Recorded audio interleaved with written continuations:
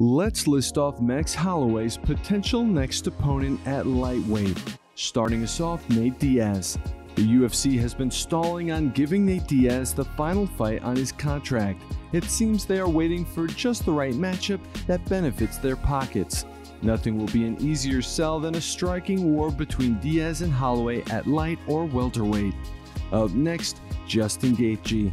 Gaethje won't be in the title picture for a while, but he is a star at lightweight. If Holloway wants a fast route to title contention, a scrap with a striking beast and recent championship challenger makes sense.